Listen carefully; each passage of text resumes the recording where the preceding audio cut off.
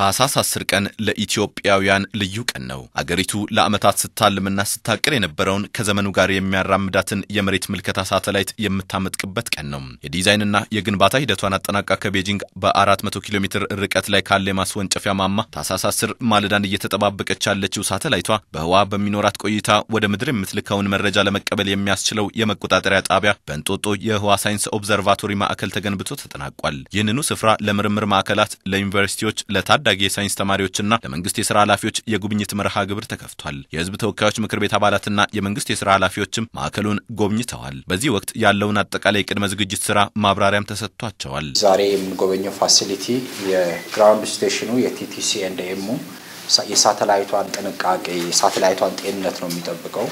የአልቲቲዩድንና የኦርቢታል ስሎቱን ልዩነት ካመጣ ከታሰበላት ዲዛይን ውጭ ከሆነ ቁጥጥር የምናደርግበትና ኢንጂነሮቻችን ሳተላይቱን maneuver የሚያደርጉበት ሲሆን ሌላ ደግሞ data receive የምናደርግበትና process የምናደርግበትን facility ተገንብቷል። ከዚህ በኋላ ኢትዮጵያ የ communication ሳተላይትም እንዲኖረን እየሰራ ነው ያለ ነው።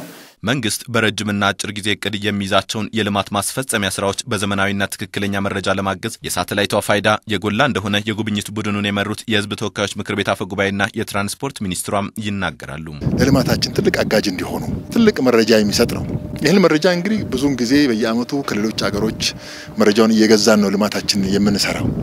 ስለዚህ ለዚህም መረጃ ግዢ የምናወጣውን ወጪ ሁሉ የሚያስቀርም ጭምር ነው። ትክክለኛ መረጃ መሬት ላይ ያለውን እውነታ በግልጽና በአጭር ጊዜ ማግኘት እንድንችል ስለሚረዳን ለመንግስት መረጃን መስጠት ብቻ ሳይሆን ለህዝብም ትክክለኛ መረጃን ሰጥቶ ጊዜውን እንዲቆጥብ፣ ወጪውን እንዲቆጥብ፣ እንዲያሰላ አማራጭ ሩቶችንም አማራጭ መንገዶችንም ለአሽከርካሪዎችን የተዘጋጋ መንገድ ካለ የመሳሰሉትን መረጃ በመስጠት ጊዜን ይቆጥባልና ዘርፋችን ላይ ትልቅ የሆነ አስተዋጽኦ ነው የሚያደርገው። አገራት በሳተላይት አማካኝነት አሰራራቸውን አዘምነው ሁለንተናዊ እድገት እያስመዘገቡ ባሉበት በዚህ ወቅት ኢትዮጵያ ይህንኑ ዘርፍ መቀላቀሏ ይበል የሚያሰኝ ነው ያሉት የጉብኝቱ አባላት ቅድመ ዝግጅቱ በተያዘለት የጊዜ ገደብ መጠናቀቁን መመልከታቸውን ባጋሩን አስተያየት ጠቅሰዋል። ከኋላ ቀር አሰራር ወደ ዘመናዊ አሰራር ልንቀየርበት የምንችል ቴክኖሎጂ በታገዘ መንገድ አገርንና አጠቃላይ ተቋማትን ልንቀይርበት የምንችልና ውጤታማ ሊያደርግ የሚያስችል ነው። ቅድመ ዝግጅቶችን ያየንበት ሁኔታ ስለሆነ እጅግ በጣም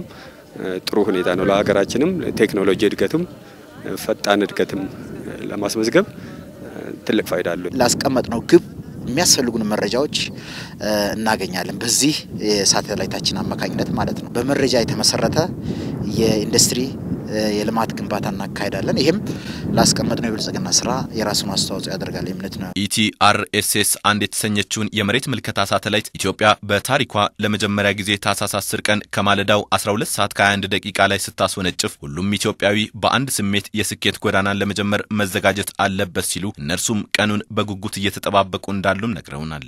መላው የኢትዮጵያ ሕዝብ ቀጥታ በስርጭት ስለሚተላለፍ ደስታውን የሀገራችንን እድገት የሚያይበትና ደስታውን የሚገልጽበት ቀን ስለሆነ እኔም ያን ቀን በጉጉት እጠብቀዋለሁ።